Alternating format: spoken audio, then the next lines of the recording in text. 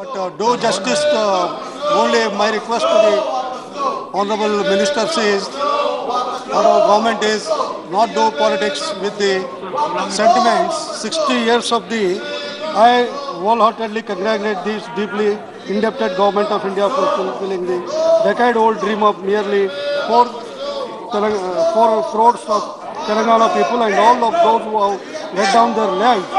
Here is the dream of a separate Telangana state.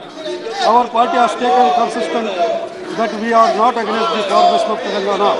We are one of the few parties which have given support for the Telangana. We state the uh, creation of new state based on regional aspiration, strengthen the federal I asked him structure and thereby reinforce the democracy in asked him to take a, in a country.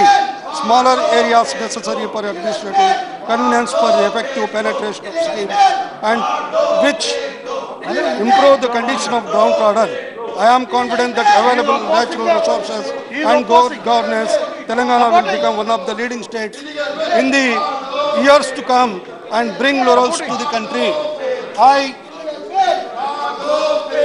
we, but we the Telugu party want that problem and difficulties that may rise due to AP reorganization in Seemandhra region should also be addressed and solved with some kind of commitment shown in this bill.